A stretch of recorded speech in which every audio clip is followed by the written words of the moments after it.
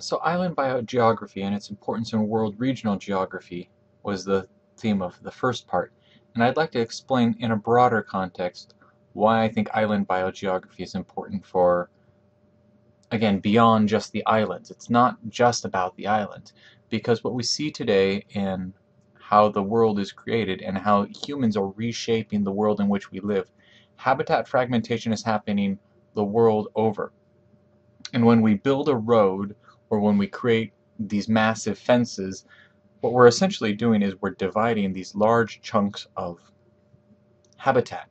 And habitat is increasingly fragmented. Urbanization becomes one key factor in that cities are essentially no-go zones for large mammals, and we've made it so that many species are just obviously not welcome within the city. Agriculture is another area. We have these massive fields where we're saying this is for one particular species, be it corn, wheat, soy, or whatever, and we're carefully trying to cultivate that one species, but at the exclusion of all other biodiversity. So urbanization and agricultural fields have profoundly reshaped the physical environment, and as humans have extended our reach towards just about every place on Earth, that's created chunks of little island fragments. And as we can see with this graphic below, what we're really looking at is some species prefer to be, if we're looking at forested interiors, they want to be in the deep parts of the forest, and other animals live on the fringes.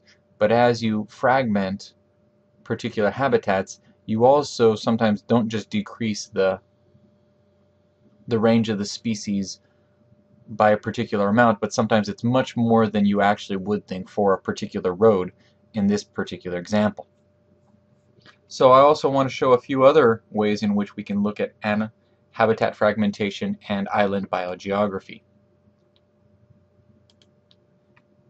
Here we see places that look essentially not very settled by humans, and yet think like an animal what types of places, what could you live in this type of environment? What would be the risks? This is, again, for larger animals especially, this is not a, neither of these are very conducive. The top picture, nor the picture off to the left. And then you look at the picture on the bottom right. This is one that has been specifically designed and tailored for creating corridors so that animals can be able to go from one chunk of a habitat to another. And that dispersal, it's not just about letting them go to different places, it's about allowing the species to really be able to ecologically expand and then maintain their vitality of a genetic pool on both sides of that particular corridor. That becomes very, very critical. And so I'll send you some links as well with bridges and how habitat bridges can be quite important.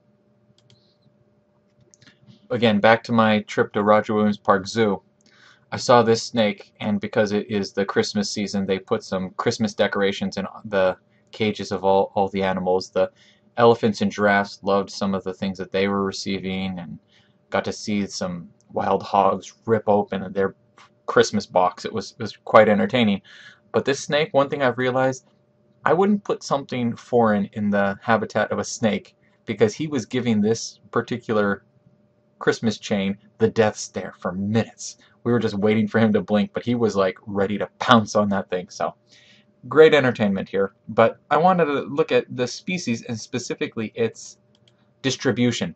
These timber, timber rattlesnakes, indigenous to New England, but you can also see that their range is shrinking and shrinking tremendously. Now what do they attribute this to? Habitat destruction. Urbanization, it's not listed there, but it's still one of the key things. Road mortalities, sporting hunting, commercial logging, and, and other wide ranges of diseases. Although this isn't a very prevalent species, and most people aren't going to get too saddened by the loss of snake species, they're not being completely eradicated or in other words, they're, they're not extinct, but from Rhode Island specifically, they have been extirpated. Now, what is the word extirpation? it's essentially a local extinction. The best example I can think of this would be looking at the cougar or the mountain lion. Again, I went as a graduate of Penn State University, and we were the, our term, nickname was the the Nittany Lions, and the University of Vermont they're the Catamounts. All of these are different names. The mountain lions, catamounts, these are names for the cougar. But when we look at the the spread of where cougars are today, they're not found at all in the eastern part of the United States. In fact, sometimes people have referred to them as the ghost cat because there were always these legends of of big cats lurking and it, it captured the imagination kind of like a Bigfoot type uh, ethos around it. And with this idea, you know, we can just see that no, the cougar is not extinct. But for all intents and purposes, if you live in the eastern part of the United States, yes, it, it absolutely has been eradicated and extirpated from our territories. Something to consider in terms of how we want to look at our ecology. Why did it was it able to persist in the western part of the United States and not the eastern part of the United States? Several things that we can see. Where is the bulk of the United States population? Two-thirds of the U.S. population is on the eastern side of the Mississippi River. Then we look up and down the Great, Great Plains and the, the Midwest. These are some of our key areas for agricultural expansion. Cities, agriculture. Those aren't going to be places you're going to want uh, a mountain lion or a cougar. And that led towards massive hunting parties taking down the cougar and essentially led towards its extirpation from the eastern part of the United States. Let's look at one other species, the bison. These were some from Roger Williams Park Zoo. And while I was there, I was looking at the particular banner letting you know where they are, where they were. And you can see that they have almost been completely wiped off of their native historic range. And you can, I mean, human settlement, it makes perfect sense. These massive herds of buffalo are bison technically, but a lot of people still refer to them as buffalo. It's a powerful force. If you've ever been in a place like Yellowstone National Park where where they do still roam, they are tremendously powerful beasts that really have no regard for humans in the sense of, you know, I don't care if it's your road, I'm still going to walk across it and take my take my time. That's it jars with our concept of what we own the land as we see it. And the bison is, is seen sometimes by people as an infringement on that. They were hunted into massive extinction, and also some people they did they just didn't want them in areas settled by people. It prevents urbanization, and so again, eradication from a lot of those areas has led towards the local extirpation of the bison from a good range of these spots. And if you look at where the bison is today, they're islands. These are islands of bison population that without human intervention, they wouldn't be able to genetically disperse one population to the next. And cutting the size of a, pop, a local population, once you get a population below 50, it's very difficult to be able to maintain that. And the genetic diversity drops and lots and lots of issues with that. So here's another map, again not the highest resolution, but of that of those different fragments of where we can find bison today.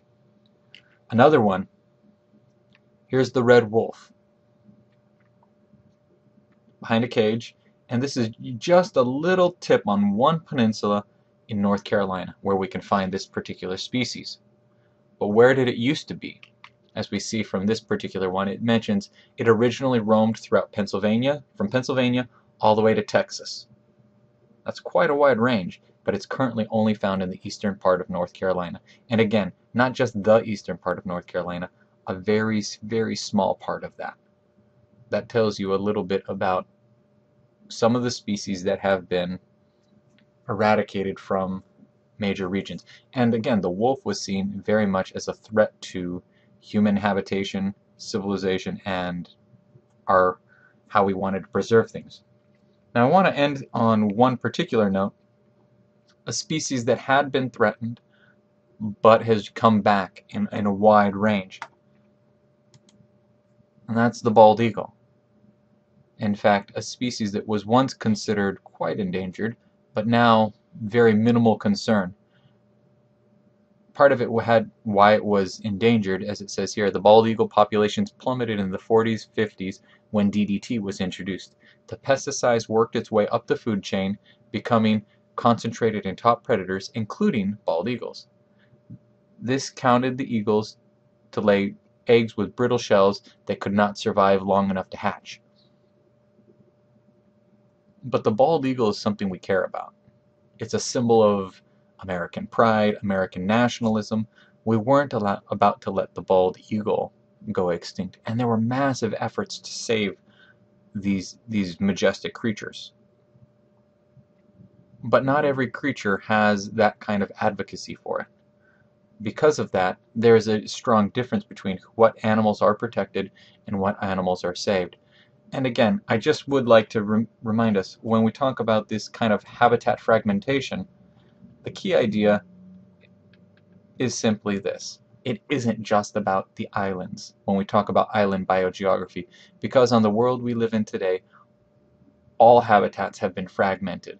And so what we start seeing is on the continents, island biogeographical issues happening at a smaller scale, and again, without being surrounded by water necessarily, but being surrounded by highways, freeways, farms, agricultural equipment, industries, any signs of human habitation that is that is fragmenting the native range of many other species. Thank you very much.